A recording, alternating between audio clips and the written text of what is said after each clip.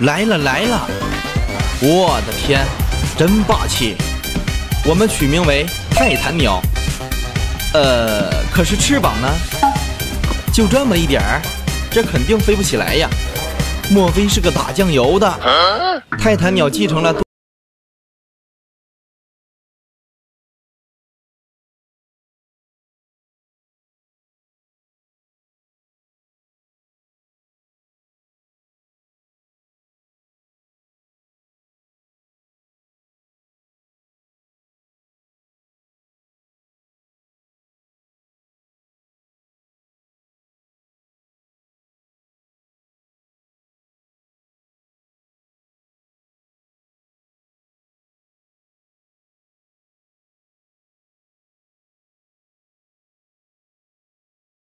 的恐龙自卫队，现在队内只有防御为主的甲龙，虽然防御力极高，但是行动迟缓，很容易被对方甩掉。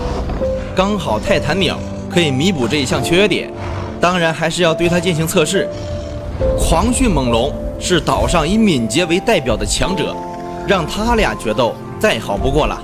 究竟谁更胜一筹？拭目以待。